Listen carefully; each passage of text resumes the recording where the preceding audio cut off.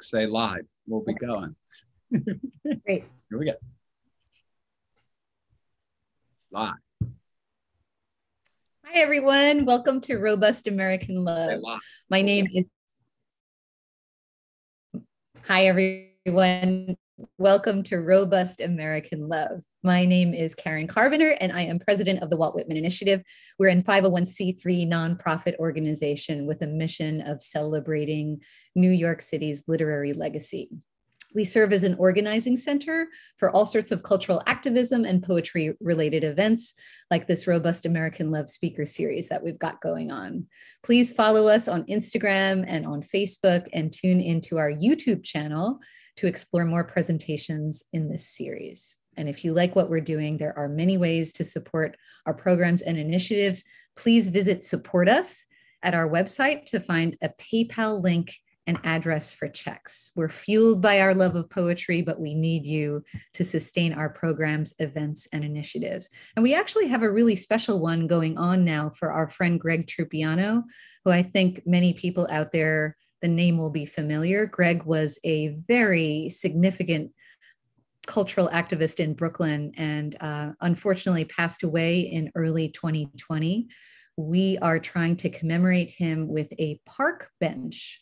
So that is our latest thing in Fort Greene Park, where he held a lot of his events and tours.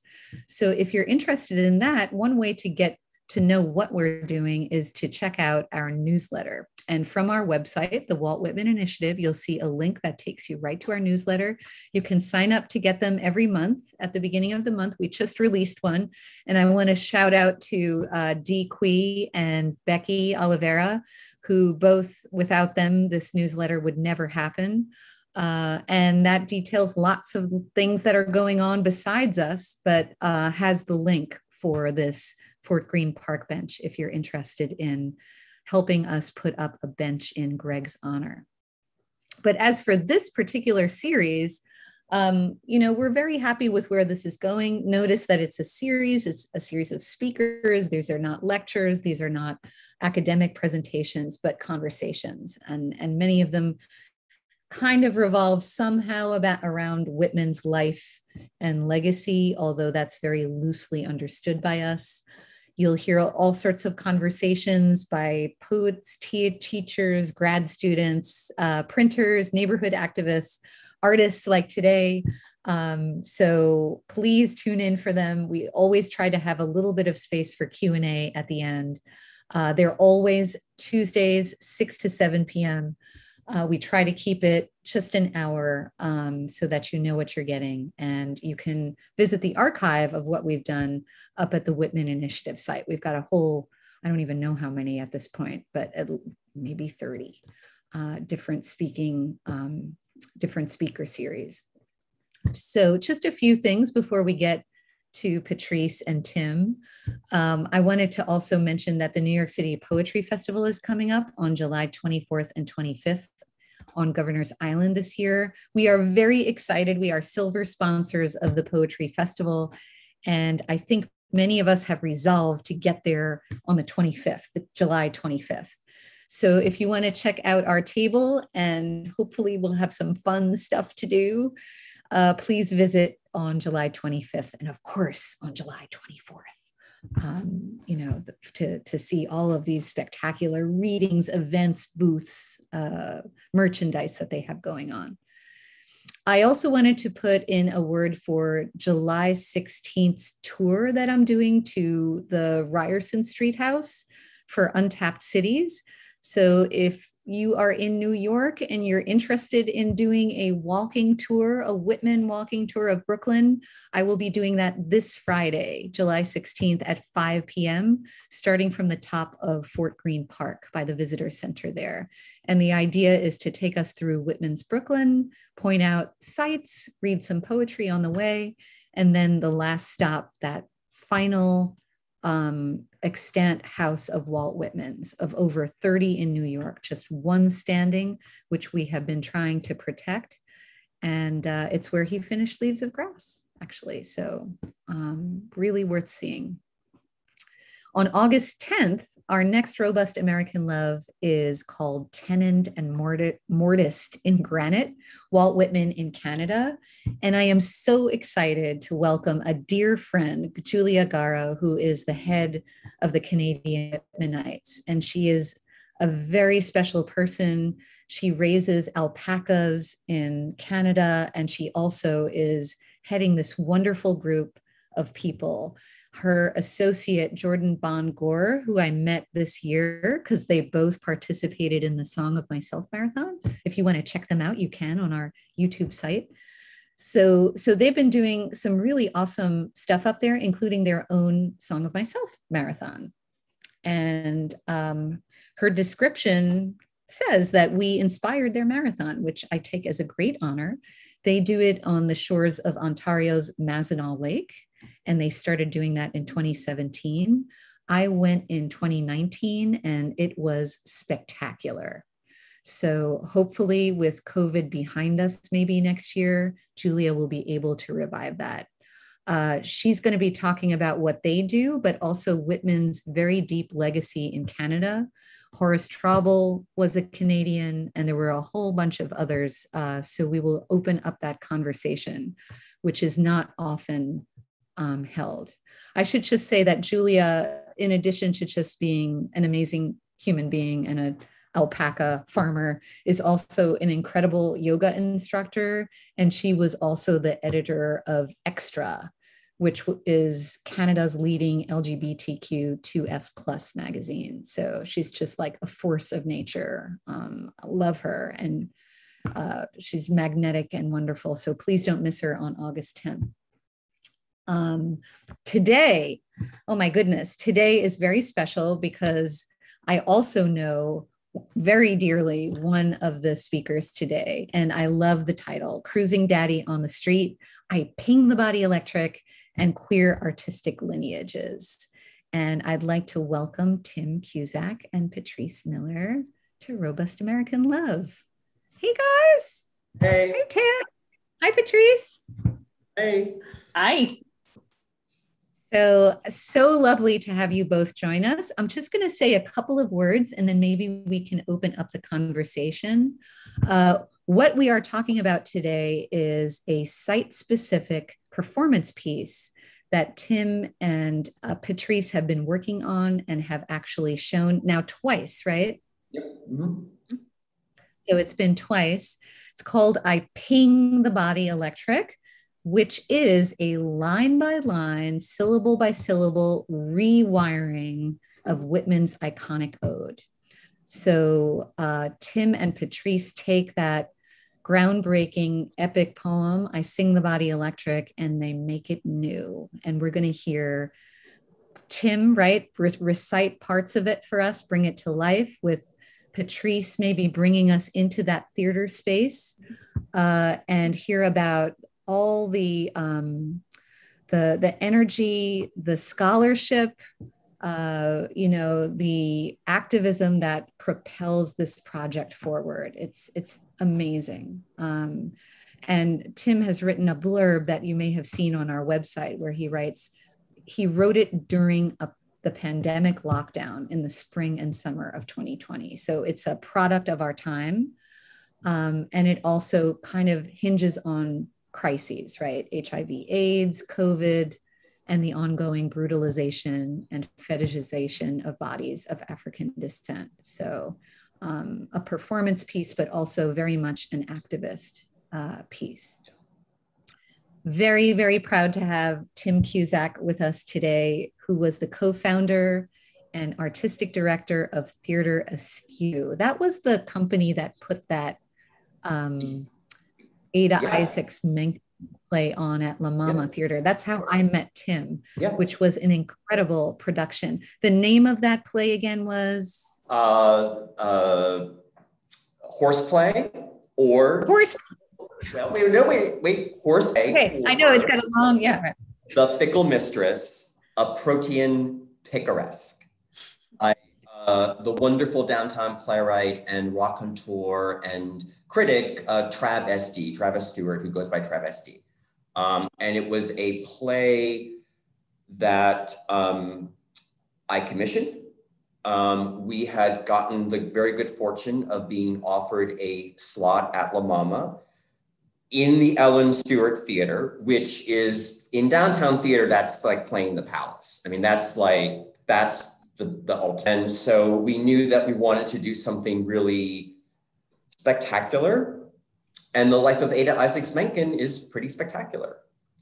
And um, she was one of those people who knew everybody. Kind of, she made it her point to know everybody who was anybody. And so she um, was Whitman's poetry protege um, in New York City in the 1850s. And that's how Whitman comes into this whole thing.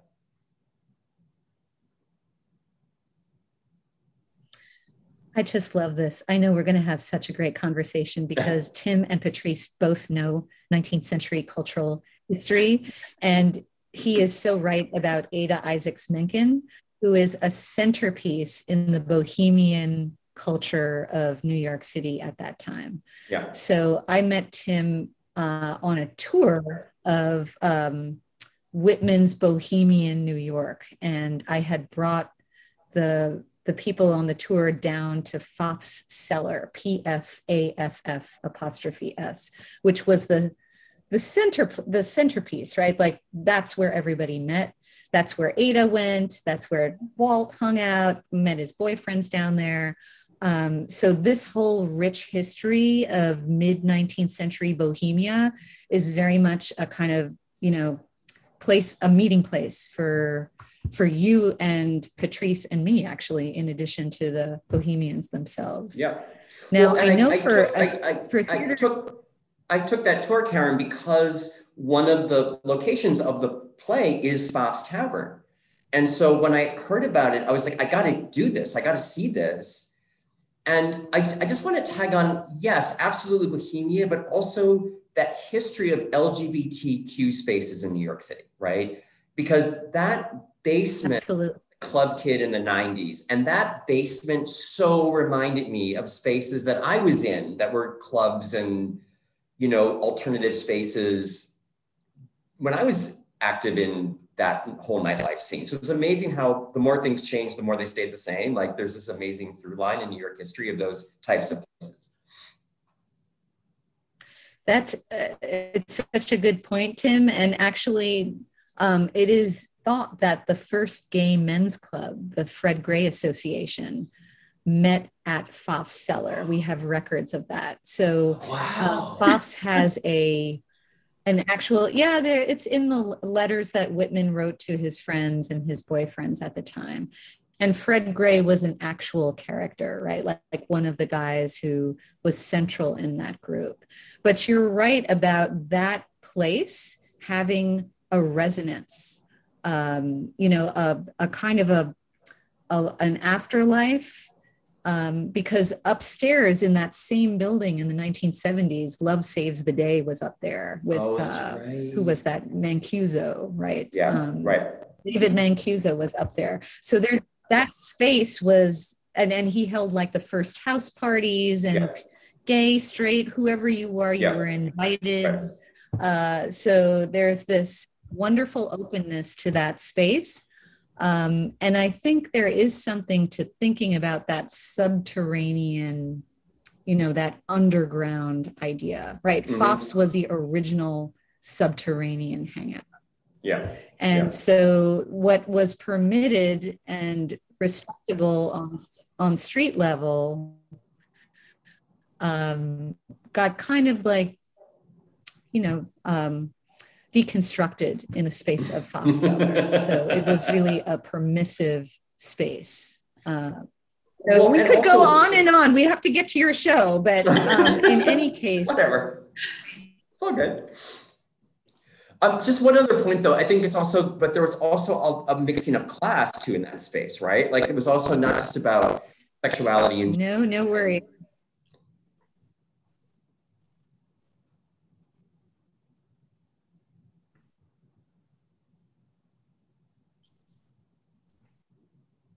She back?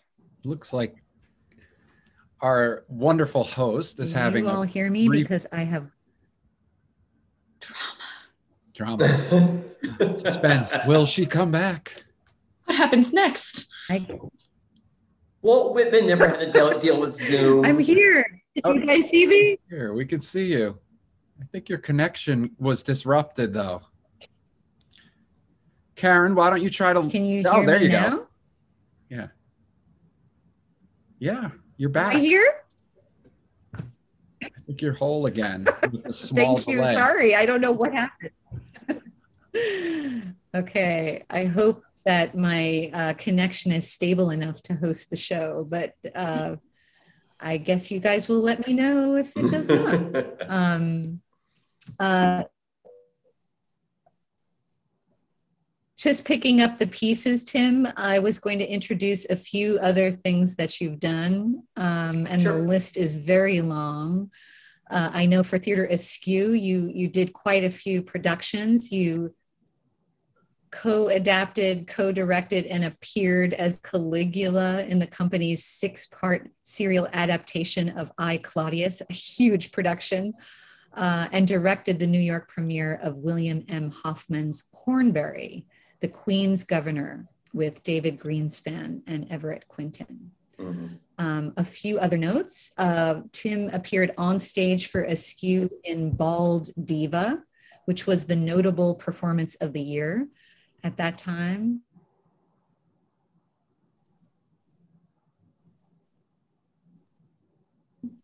Um, the Tempest, I Google myself. Uh, he is a Next Magazine Future Legend, a 2007 New York Theater.com Person of the Year and was named by Next as one of the most significant figures among the new generation of out gay theater artists and is an inductee to the Indie Theater Hall of Fame. And Tim, I know that you're teaching currently Mhm. at Hunter College. That's Mhm. really interesting, teaching acting. Yep. And um, anyway, thank you. It's just very impressive. Are you guys are you guys hearing me? I'm I'm nervous about losing a connection here. We're, we're hearing you, but you're freezing up. Am I coming across, guys? Karen, you might want to turn your video I'm off temporarily. Not sure what to do about that, but uh, as if okay. Oops. So, is it better now? We can, we can hear you great. Your What? video was breaking up and jumping around, so we'll we can hear you now. I can. Patrice and Tim, can you hear Yeah, Karen? one hundred percent. Totally. Okay, great. So I will do a disappearing act now for a little while. If that makes us more stable, I'm fine with that. And I just want to say also a few words to introduce Patrice, who is a director, choreographer, and performance artist best known for their in, dis, interdisciplinary performance making. Recently, she directed the premieres of This Joint is Jumpin', which featured Lillias White, um, and that was in the Other Palace in London. Brian Boone.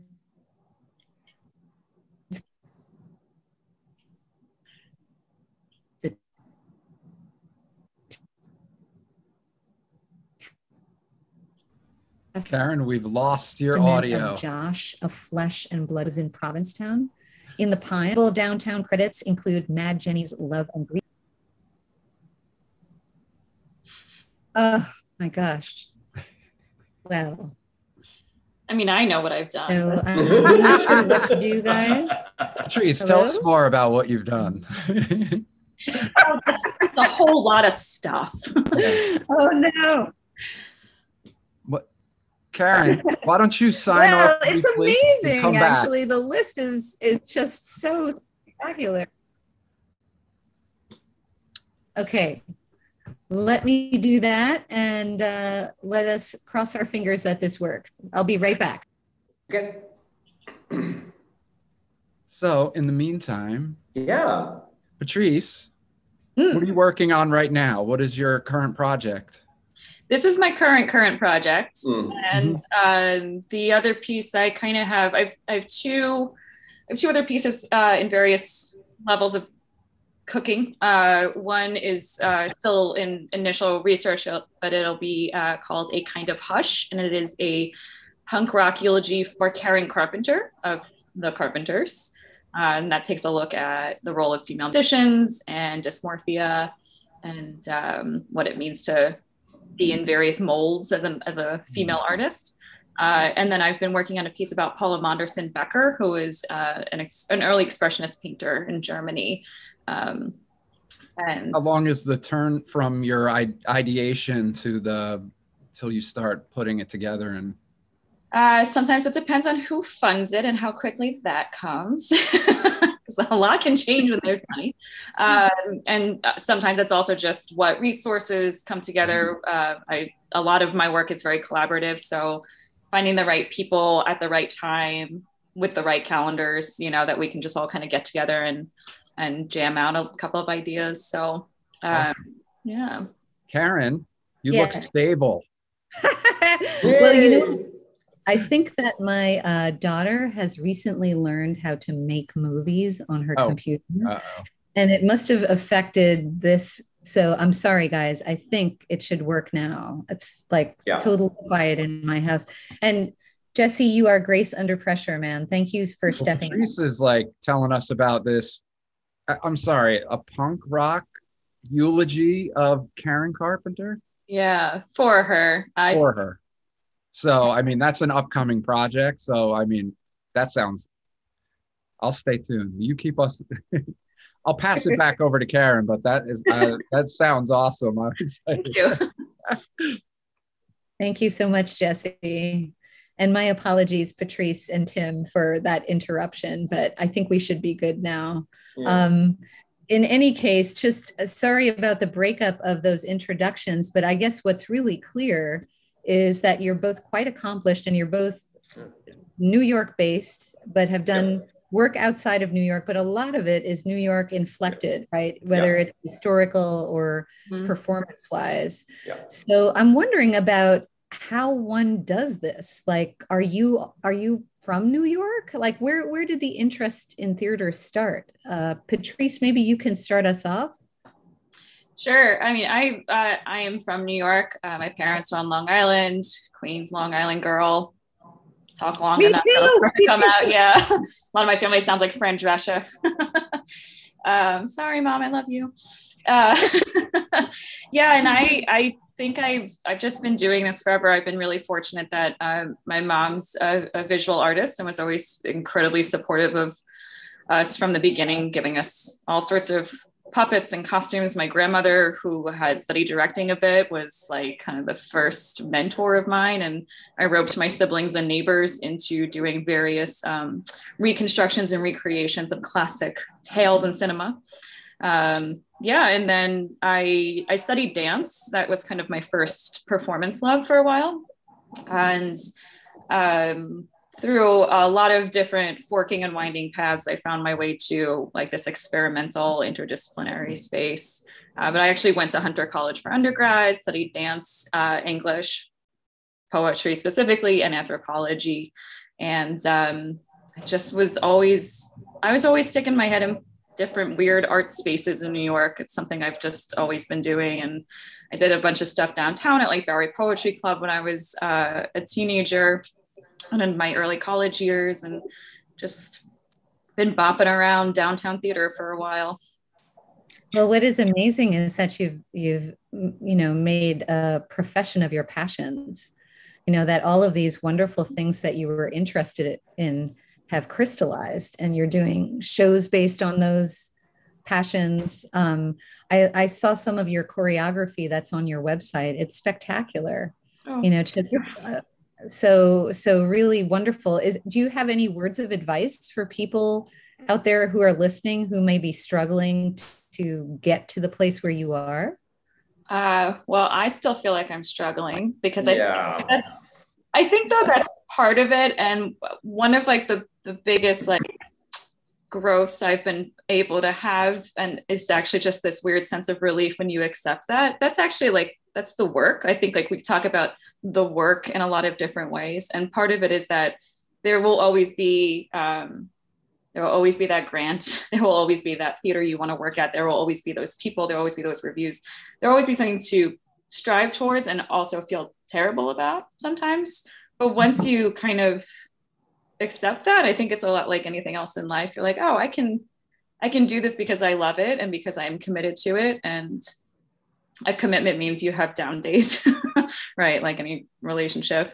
Um yeah and i think the most important thing i've found is to to find your people and to find where you're loved. Um what is it? Go where you're loved stay where you're watered um, which can be hard um, especially in a city like New York, where like just the financial demands of of making work here alone is is really overwhelming. Um, but there are there are as many ways to make art as there are artists making it, and I think finding your folks is is the first step. And um, yeah, and just and and and giving in turn to those people too, like.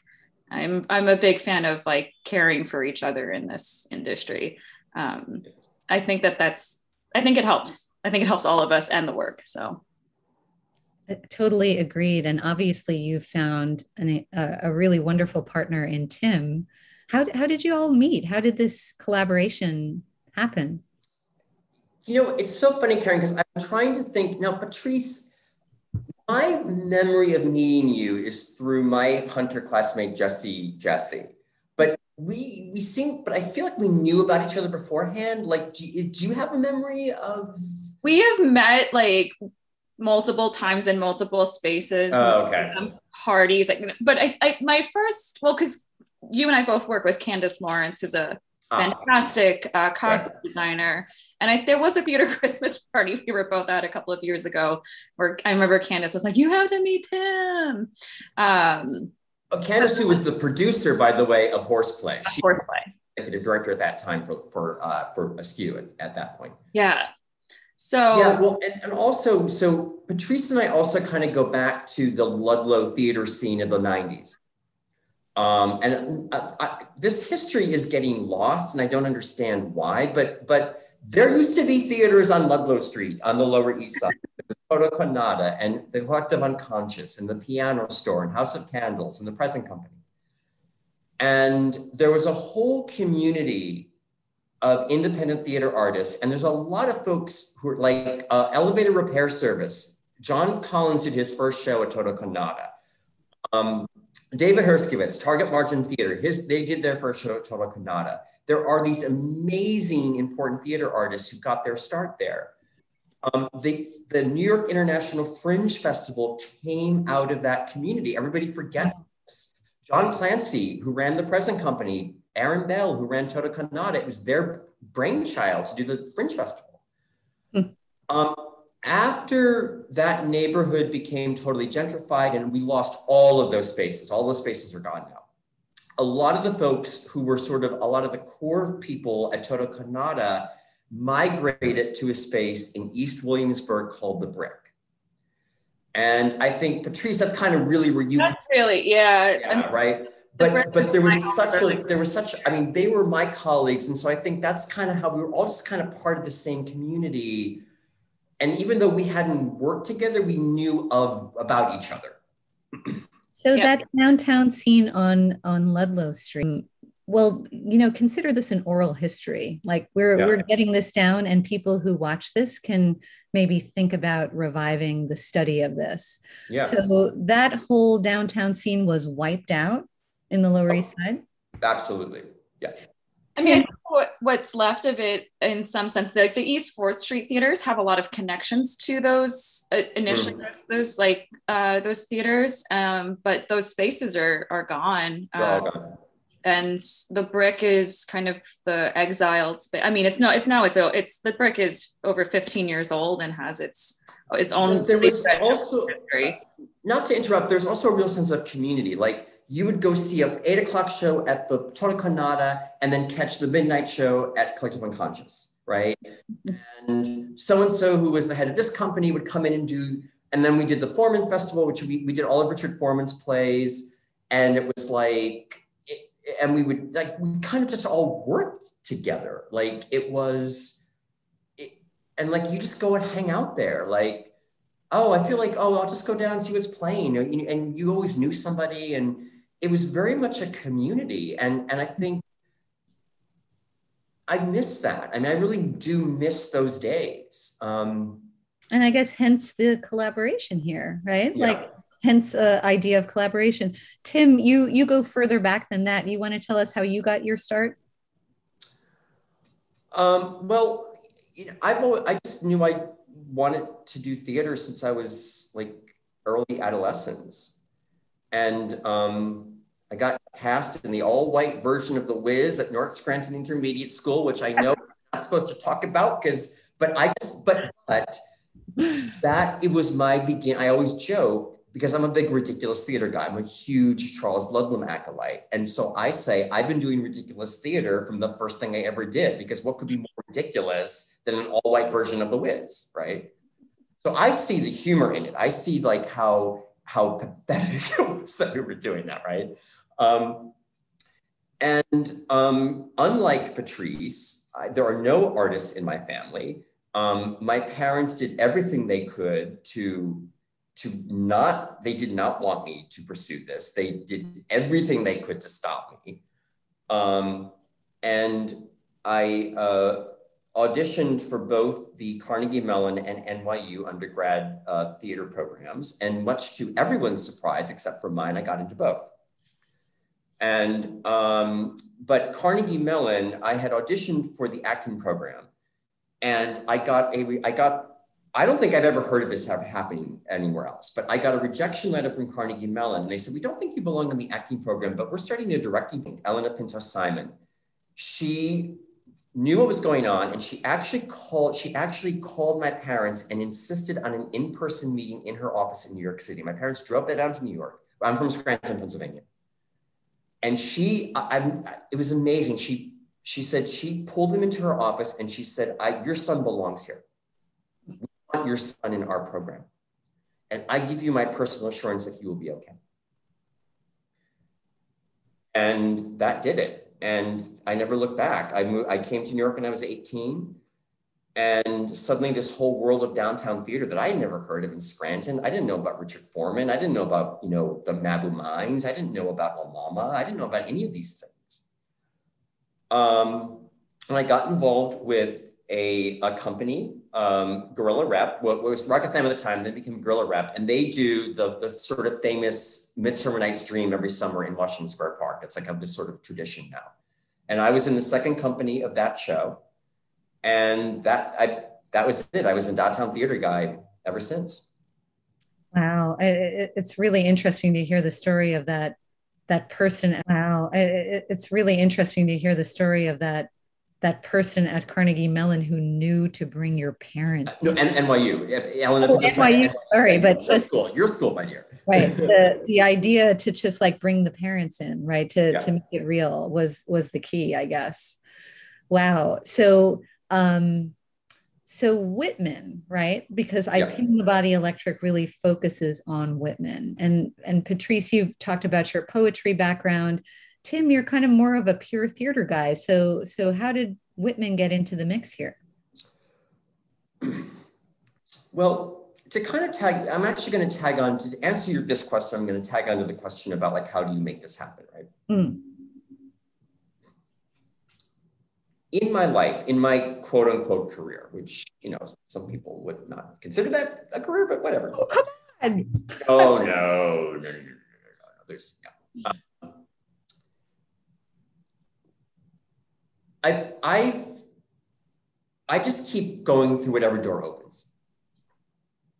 That's my advice. Like if you want to ask my advice, just whatever door opens, walk through it. Because as long as doors keep opening, you're going to get someplace. I truly believe that. Um, the production that how we know each other, the horseplay production um, was a watershed moment in my life, but not in a good way. It was, it actually ended up being one of the worst experience. It actually was the worst experience of my life. As proud as I was of as that show, it cost me dearly. Um, I lost my company, I lost my apartment, I lost my job. It was, it was, it was, oh I almost killed myself. I almost committed suicide twice. I mean, it was a, it was bad. It was really bad. Um, I'm still paying off the debts from that show. And the only thing, the only door, and this is so weird that we're having this conversation, Karen, and I really give you credit for this. I actually have to give, I'm going to publicly give you credit for this because it was through you that I met the Parachute Literary Arts folks.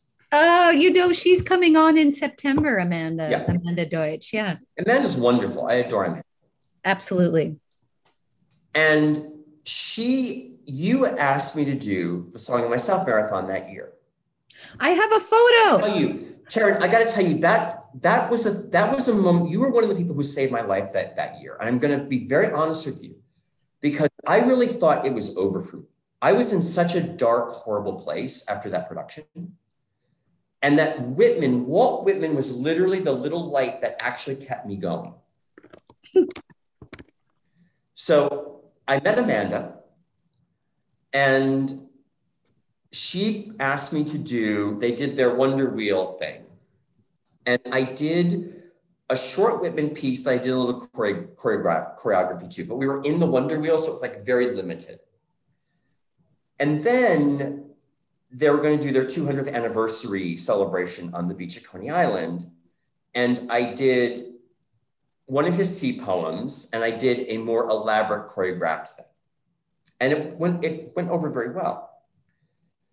The, the great gay performance artist, John Kelly, who's a friend of mine, was there.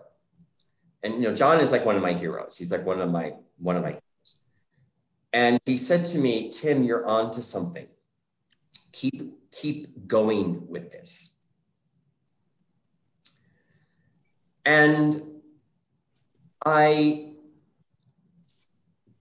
didn't want to just do like take a poem and like do choreography to and recite the poem that just seemed that seemed like dumb to me like why would i do that and i kind of had this sort of intuitive little um, itch to ha- and was audacious, right? I'm going to rewrite Walt Whitman. I'm like, who? What?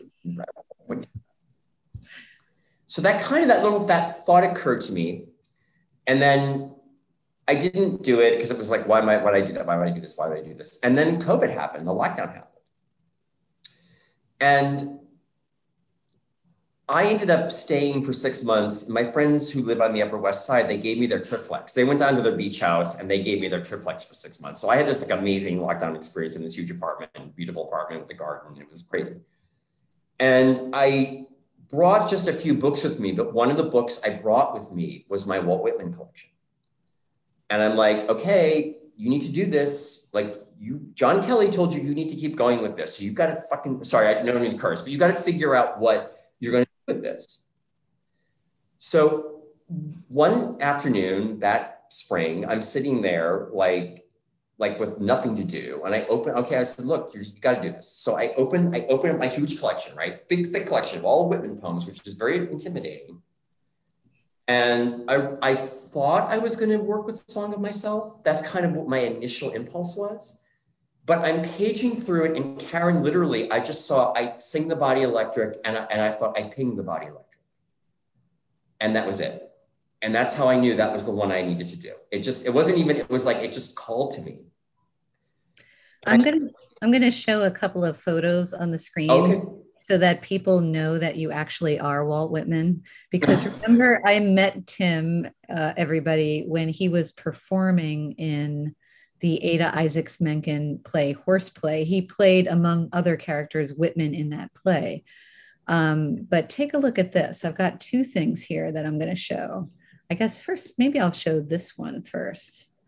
So this is Tim in 2015 enunciating Walt Whitman to a crowd at the Song of Myself marathon. And I knew a star was being born because he had such a theatrical way of bringing him to life. It was a huge hit at that marathon. I wish we would have a recording of it. And the the photo before, do you know who that is? Do you guys know John Farrell? Well, I I remember him because that, that's me. That's actually me behind you. Um, yeah. remember him. I mean, I remember him from that from the tour.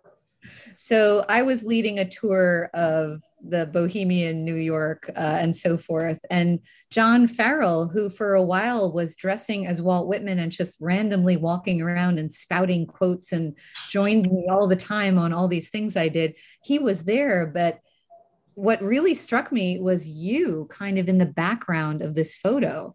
And Whitman wrote a poem about Pfaff's called The Two Vaults because the ceiling of Pfaff's was vaulted and there were actually two different spaces. One of them was really for the Bohemians. So I call this photo the two waltz because not not only am I next to I'm next to John who was an incredible Whitman and John if you're out there man we love you. You know just come back with this it was so awesome wild and awesome. Um, but you, as I recall, Tim, you actually recited Whitman down in that space where where Walt, for all we know, had his first sexual encounter down yeah. there. So I, it was. I can't believe you remembered that because I had I actually had completely forgotten that detail. I for, I forgot that I did that. So this piece has been a long time coming, and it's been I, a long time coming.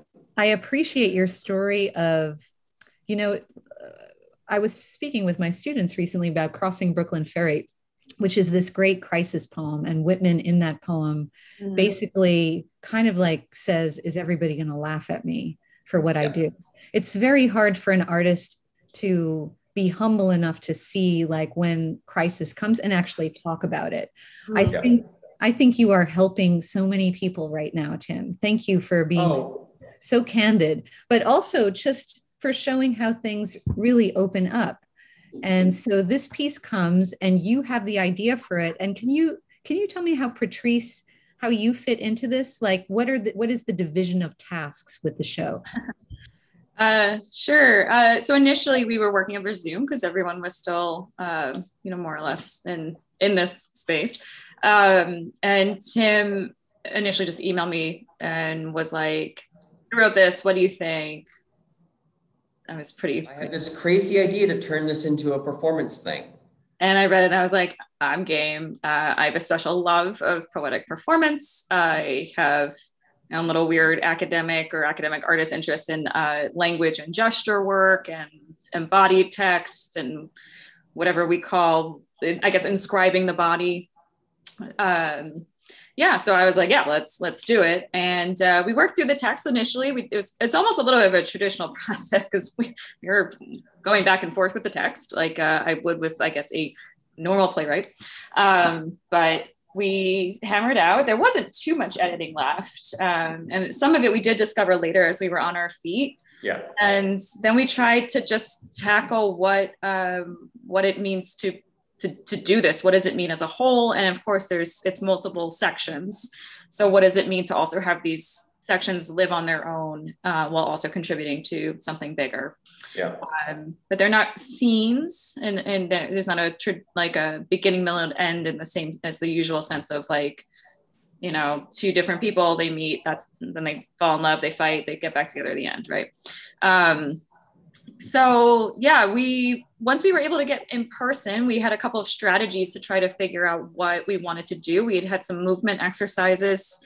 We talked about just what how each of the pieces felt where they came from some of the big imagery in them. Um, i basically just brought my whole toolkit to it and i work fairly intuitively at this point. Um, so sorry to anybody who's always by books and has like a set process. Um, I, I really believe that each project has its own language and its own set of questions and heart. And our job is to listen to it and find out what it wants to be and how 100%. we there. So yeah, we've just really, we've always been on the same page with that. And um, we, landed through a series of conversations um, while we were simultaneously doing some choreo work, doing some text work, doing some what happens if we just speak this as a monologue work, uh, trying to find a broader framework. And I was like, well, this does have out like this might feel a little bit like a like a ritual. We can think about it, especially as we were realizing we were going to be outdoors to start and doing something that's a little bit interventionist.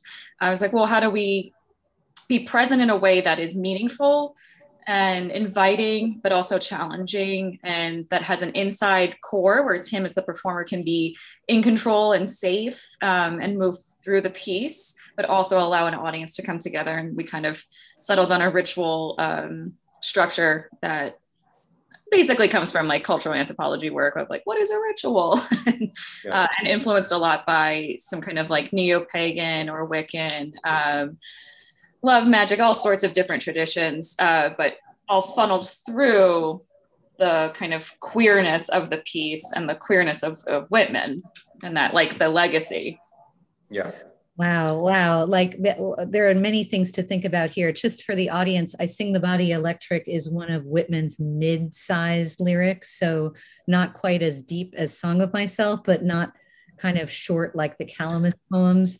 Mm-hmm. Um, it's got nine sections, at least in the last iteration that Whitman did. And Whitman kind of had, I guess, ideas of groupings of of scenes um so so i guess you guys were using that to kind of like guide yourself around the poem yeah. Um i'm really interested in this idea of queer ritual. I know you described the piece as queer ritual and the word ritual stuck in my mind patrice while i was reading about you because i see that you call yourself a lazy witch. Very very interesting.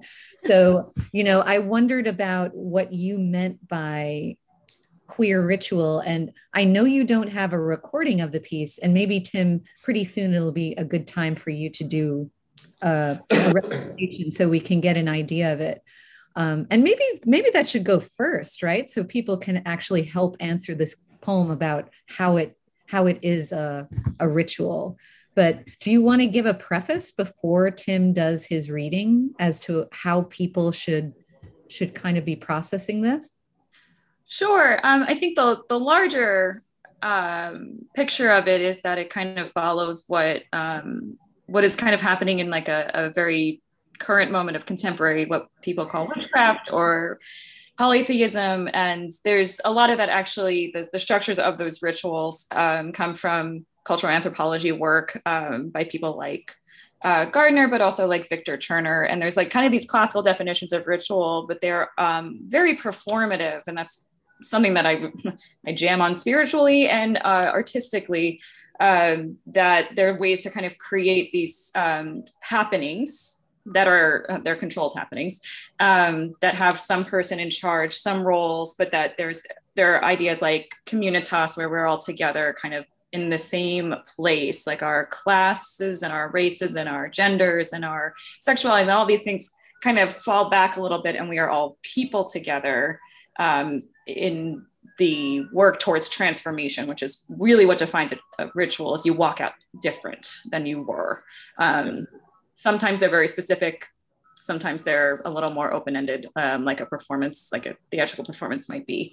Um, but also like queer rituals are, I think, are really very present right now in, in, in performance and in uh, queer activism. I mean, this also goes back to like to ACT UP. Um, and a big part of, of I think, the, this moment in queer activism is is understanding our lineages and our ancestors. And so, very specifically, this section actually does um, really talk about a very important um, queer ancestor activist. Um, it talks about Larry Kramer and ACT UP. I don't want to give too much more away about it because it's really beautiful and it speaks for itself very strongly. so, well, yeah. well, and just just to tag in really quickly about the ritual thing before we actually get to the text, because I think hearing the text, people are gonna be like, "Wait, that's not a ritual." Like, because it's mm-hmm. text I'm about to read does not necessarily lend itself to the idea of ritual in maybe our most our pedestrian understanding of that word, and that's kind of the point, because all of these references, contemporary references, historical references, cultural references are existing within a structure that we've created physically to provide a forward momentum and a sense of energetic crescendo in something that the German theater theorist uh, Hans-Thies Lehmann would describe as post dramatic theater, right? Mm-hmm. This is not a dramatic text. There is no, there's no two characters having a conflict and the audience is involved in how that, that conflict is going to resolve, right? It so we had to find something that would create a sense of momentum and movement. And that's how we came to the ritual aspect of it. And it's, I mean, it's also let's let's it, it's sex magic. I mean, I see this as doing sex magic without actually, you know, whipping it out on the street, right? That mm-hmm. is what this really is, and I think that's what. I mean, I was think I was the one who, who got there, right? Patrice, I'm like, I don't know, I, I think I want to do sex magic, and um, yeah, yeah, and and we've we like the the set as it as it were um, does involve at one point like uh, four uh, hoodoo voodoo sex magic candles that are penis shaped uh, standing out on the street which right. uh, was also like a very fun interventionist uh, act of but they're also really cute colors so like adorable don't necessarily know what it is when they first look at it right yeah it's a really yeah it's a really beautiful um I think it's a very beautiful set. Maybe I'm biased, but uh, yeah, yeah, it's because it's not. It's also not about, and much like the piece, and because of, of I think how the text works and how, why we found that structure initially was that it's not an exploitive gotcha. Um, even uh, like the sexuality of it is is is about the deeper curiosity, desire, meaning, conflict, right, um, that exist, and that I think fits neatly under what we consider queer theory or queerness and, and, and wonder and and chance and mm-hmm. Yes yes part of what i was responding to in writing it i mean i'm responding to a lot of things in writing it but like one of where it starts off in like the first section it's very much about how so much of gay male sexuality now is all happens online and it's all there's no, it doesn't feel like the, the magic isn't there anymore. It's like, okay, what do I want? I want a daddy who's hairy, who's got this and got that. Uh, okay, let's find somebody who's going to meet that. It's all very, it's it's like ordering off of a menu nowadays. And so part of what I'm trying to do is just bring some magic back into how gay men think about our own sexuality. I mean, among other things, right? That's very cool because if I think about the motivation Whitman had for writing that piece, it was to uh, to celebrate the body, to celebrate physicality during a moment when physicality was considered a taboo topic. So, by Whitman, you know, the the last part of this poem is a catalog of body parts that gets very specific, right? Yeah. Man balls, man root are in there, and yeah. he was terrifying Victorians with this poem, right, which was banned left and right. And now, Tim, what you're saying is you've revived it because we've actually turned away from the very thing that Whitman was hoping to open up, right? So we've had our moment of openness, and now, ironically, we're shutting that door. So this yeah. is. And, well, and in my version of that list, it, it's it's everything that's wrong with my body. Ah, it's, my body it is, as it is right now that does not meet that Grindr, scruff, man meat um, ideal, right? It is a devastating, um, beautiful performance that Tim gives, especially in that last. I, yeah, I mean, you can you should see the whole piece, but everyone should absolutely see the last part. I, I will I will also say though that um, I think what that there's a tension in Whitman's work that is both the the celebration of i mean there is arguably some cruising happening in that poem. It's oh, yeah. it's a pretty queer poem.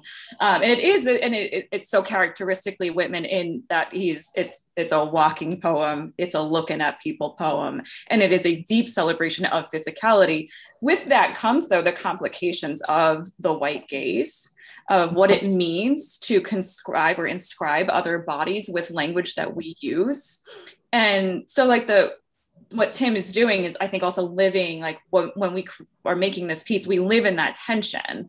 Um, be, and i think that that's a really I, I, don't know it's exciting and it's valuable because it's in almost a weird way some of what whitman does may arguably feel closer to some paying a culture with the menu idea. Like mm-hmm. cataloging is a, such an interesting um, device to use right? And it kind of can have an objectifying um, effect, right, on mm-hmm. others, especially people who are capital O others, and in particular for women, I think that that's that's uh, Black people, right?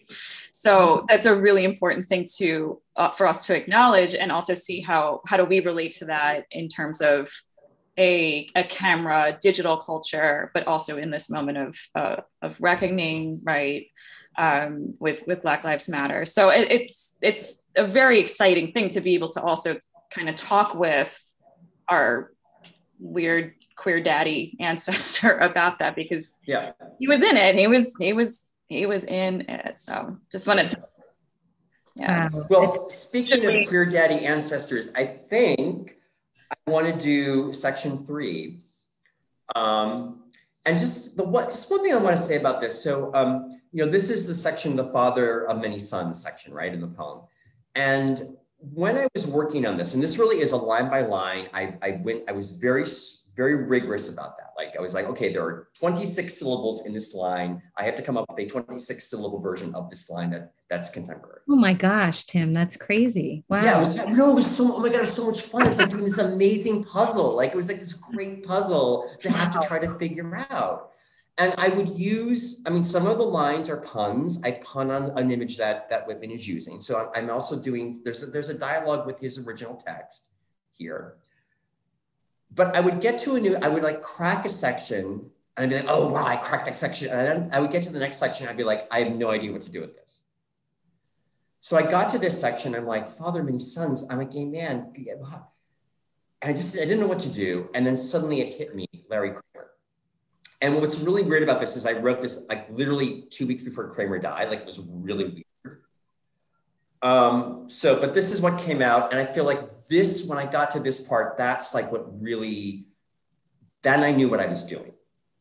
So just for the listeners, listeners who have their books in front of them, they can actually weirdly follow you along because you are using the same syllable structure. Mm-hmm. So I am I have my book right here, Tim. Yeah. And I, I don't know if I want to do it because I want to listen to you at the same time, but I love the idea and I'd love to see this performed. You must tell us what's going on with Yeah, well, why don't you, Patrice, why don't you tell them what's happening while I'm saying this? Oh, sure, with the performance itself. I was like, well, we're here now. Um, that's what's happening. Yes, that's right. yeah. So uh, this is section three of the performance. We've already gotten the um, the penis candles out and four quarters, basically creating uh, a diamond or a circle, depending on how you're looking at it. And uh, Tim lays down in the middle of this section of this this part between all of the penises. And on the sidewalk. On the sidewalk. on 14th Street and uh, pulls out a piece of white chalk. And as he speaks this text, he uh, draws the outline of his body on the ground. Okay. And this, but this could be anywhere, right? Because you guys are going to move it around. Mm-hmm. Chalk right. goes lots of places very easily. Okay. Sounds great. All right, Tim, looking forward to this. There was a man, a well known writer, father of many sons, some of whom are fathers of sons, but many of whom are not. This man was once of terrifying drive, rage, force for one person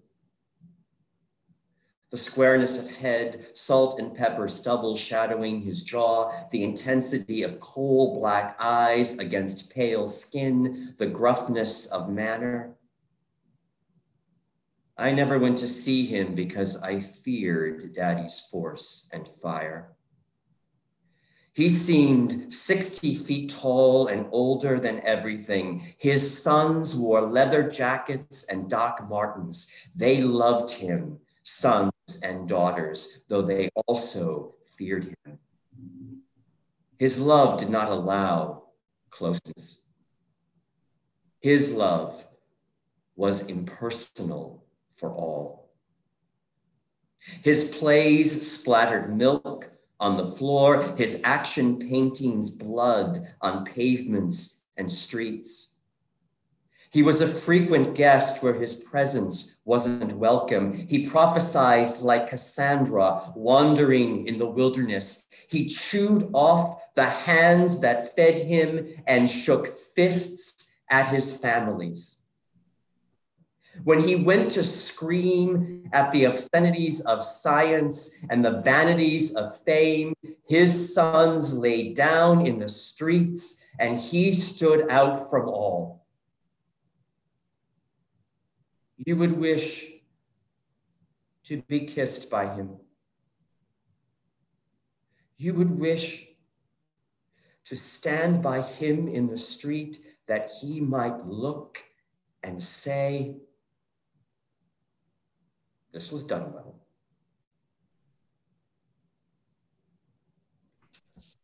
Wow. Wow. Oh my goodness. I just first of all, the you know, the performance is spectacular, but then to see how you fit it into the poem. Well, I shouldn't say that. It doesn't fit into the poem. It, it amplifies the poem, right? It, it, it uncovers an underbelly of this poem. And I don't know if you know this, but in, um, in another poem called There Was a Child Went Forth, Whitman almost does as much as come out and say that his father was abusive to him. You know, a lot a lot of people read there was a child went forth. He he's got a couple of lines in there that say something like the father strong something mean angry unjust the blow the quick loud word uh, so so there's this feeling and i don't think i'm the only whitman scholar who feels this way that there was an abusive relationship between father and son so you well, you haunted me with this because yeah. it sort of uncovers maybe what Whitman really meant to say, you know, to, sort of a, a level that that kind of he coasts over somehow in this text. So I Karen, I actually have a question for you. Yeah. Was he talking about a specific person in this section? Or I mean, I, was very intrigued by that. Like, is he is there some is what are the theories about that? Or what because it's very opaque. Like he's an artist and he gets to have his secrets. Hmm. so he, he never he never But there's no sort of sense that he was maybe hinting at some one specific or well, honestly, his father was a common farmer. Mm. And I forget how many sons may have uh, he had eight children. I think oh, wow. five of them were sons. So, you know, you could you could kind of piece things together if right. you did. There's definitely a resemblance to his to his own father out there. Right? Um, and the bits and bobs that we know about Whitman Sr. kind of fit into what he says here. But the, the line in the original poem, he says, he drank water only. The blood showed like scarlet through the clear brown skin of his face. His father was a massive alcoholic. Oh, wow. So whether this was a cleanup job of Whitman Sr. or not, what you do, and if I were critiquing your performance, I would say that this is a maybe not just a, a, wonderful performance to watch, but for people who are in tune with Whitman and want to get kind of at another another layer, right? Oh, another okay. understanding. You're you're digging into something that probably a lot of people feel, but you have put into words. So so so anyway, when you're saying this, you're lying on the ground. And as Patrice was telling us, you are drawing yeah. And, and the game is from for me to try to keep my body as flat as possible. And there's this whole like intense abdominal thing where like I actually come up and like I'm trying to like never let the chalk leave the floor. So it's this very intense, specific physical task um, that is personally my favorite moment as a performer in the piece. Like it always feels so powerful to do that. And like you can feel people going, oh my God, like and then I stand up, and the part about you would wish to stand by him in the street that he might look and say, This was done well, I refer to my own, the out, wow. dead body outline, right? Like that's, so it's, it, and that, and that was Patrice. I, that was, that was, that's where, that's where Patrice, that's why I wanted to work with Patrice because that was her idea to do that. And, um, and that's why it's such a great collaboration because as soon as she said it, I'm like, yeah, that's what we exactly. That's what, yes. Um, well, it speaks on so many levels. It's it it seems to me very current and relevant. You know, to speaks to police brutality. Yep. Right, like uh, yep. drawing that line of the body, yep. line around the body. It speaks of sort of like a uh, an awareness of like the shell of the body uh, as opposed to the interior position of the body. So um, I, am wondering because I, you know, I'm going to have to let you guys go soon because we keep this show to an hour, and I've yeah, oh, already. Yeah, totally. Yeah, But I'm, I'm just, I'm very intrigued with this. Where, what would you like the show to do? Like, do you feel like you have a particular message that you're trying to say, or like if you our our very dear our our very dear friend Elisa Simon, who's another one of the old Todo Con Nada folks, Elisa came to see it and she said the most extraordinary thing. She named it. She said, "You are casting a spell for empathy." And that goes to what you all were saying about the activist stance of yeah. This. So there is something about this performance that opens the heart. Yeah. Um, so how can we see it? Like, because I know you don't even have a real recording of the entire thing, right? No. Um, well, we are we we're applying um, we're applying for a grant that if we get it, we hope to do be doing a few more performances in uh, September.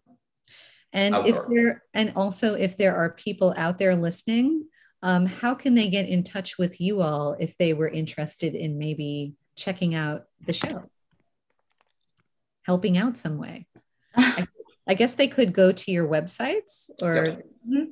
yeah we we both have i have a website and also our the piece has an, a website that um, needs to be updated and will be updated after tonight But it's actually a really wonderful website. I learned a lot of information from it. And there are several images on there that will mm-hmm. help people see more what you're doing.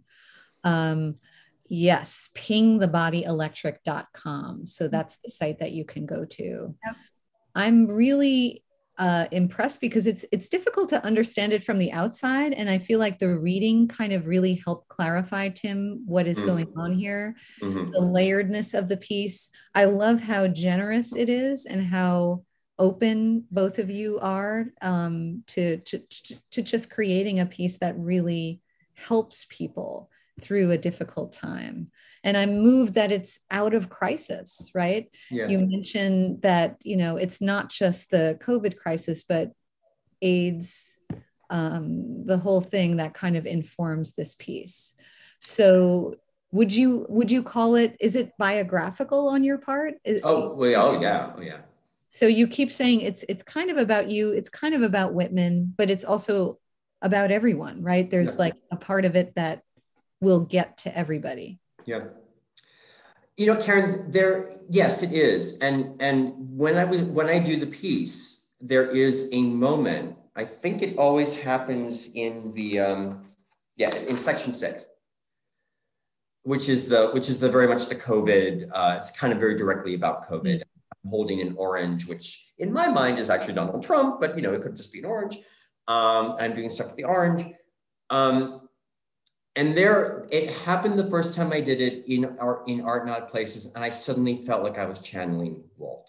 I had this very intense moment. And Patrice, you had the same experience, right? You too.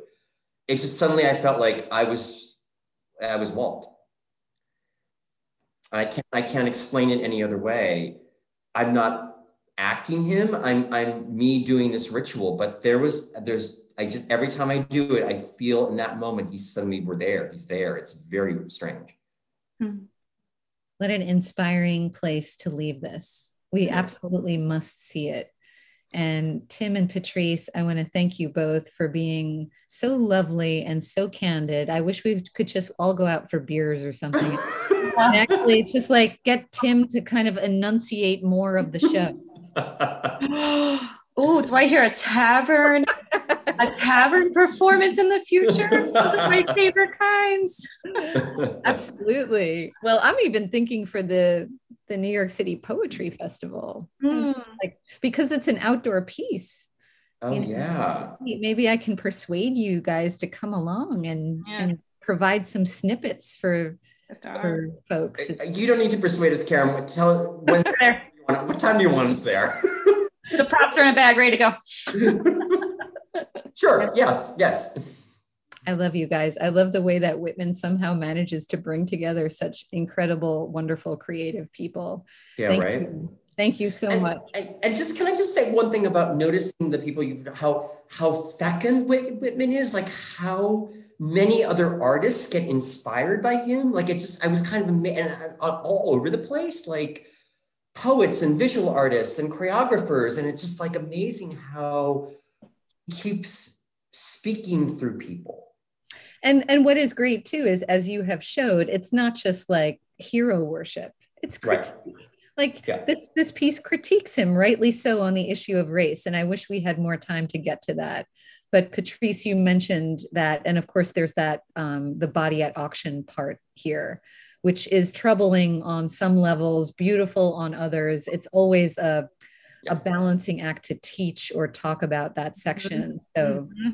Um, I'm going to leave it at that because I have to let you go, but there's much more to talk about. I hope to see you guys in person soon. Yes. And I want to also thank Jesse Morandi. Jesse, woo! Who saved the day, stepped in, and absolutely held forth as he does. And the show would not happen without him. So thank you so much, Jesse. There he is. Yeah. okay, everyone. We'll see you August 10th for uh, the Canadian Whitmanites and uh, Patrice and Tim. All the best. We can't wait to hear where the show goes next. Thank you, Karen.